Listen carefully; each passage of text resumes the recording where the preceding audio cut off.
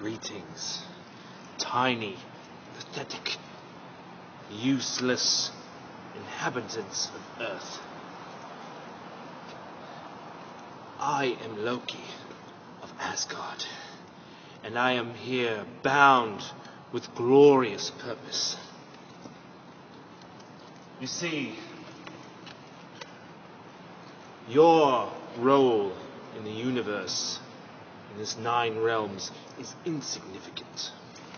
I am here to rule you all.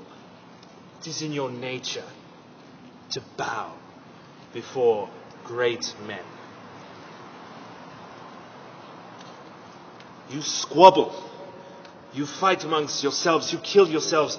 I am here offering you peace.